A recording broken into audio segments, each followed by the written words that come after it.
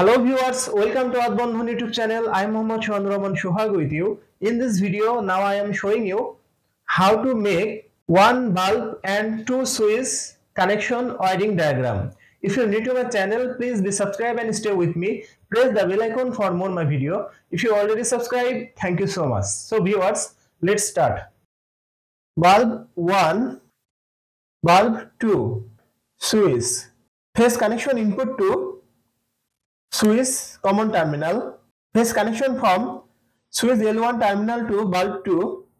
Phase connection, neutral connection to bulb 1 and bulb 2. Output phase connection from switch L2 terminal to bulb 1. Now this circuit is ready for use. So viewers, that's my video. If you like my video, please like and share my video to your friend share my video to your all social media. Thanks for watching my video and thanks for being with me. Thank you so much